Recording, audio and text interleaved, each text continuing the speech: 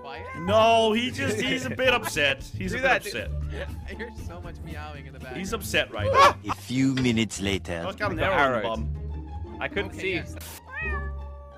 Way and this way. If you guys hear a cat meowing and knocking on my door, it's just my cat. I swear what he's normal.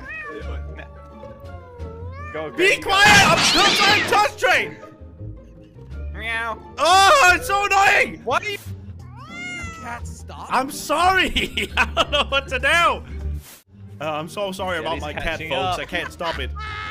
It's just, uh, you know, it's need, it needs attention right now, and I, I'm recording a video. I can't give it to him.